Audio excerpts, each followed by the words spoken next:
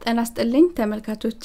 ዛሬ ይዤላችሁ የቀረብኩት የቲሂኒ ወይም የሰሊጥ ክሬም ማዘገጃጀት ነው። እንደምትወዱት እርግጠኛ ነኝ። አሁን ወደ አሰራሩ እንሄዳለን። በመጀመሪያ ሰሊጡን ነው የምናምሰው። ሰሊጡን በምናምስበት ሰዓት እሳታችንን በጣም ዝቅ ማድረግ አለብን። ሰሊጡ ቶሎ የማረር ባህሪ ስላለው ተከታትለን ማመስ አለብን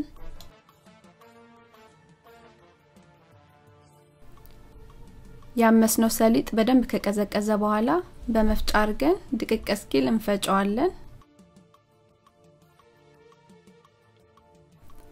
ሰሊጡ እንደዚህ ቆንጆ ሆኖ ከተፈጨልን በኋላ ጨው የሰሊጥ ዘይት እንዲሁም ዘይት አድርገን ወደ ክሬምነት እስኪቀየር ድረስ በደንብ አርገን እንፈጨዋለን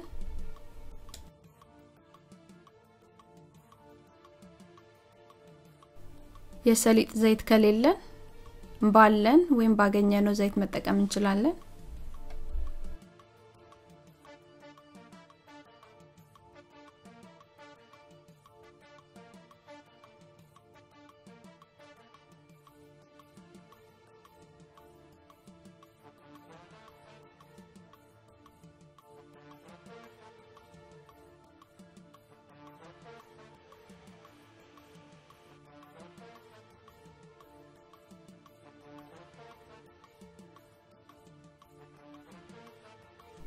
እንደዚህ ወደ ክሬምነት እስኪቀየር ድረስ መፍጨት አለብን።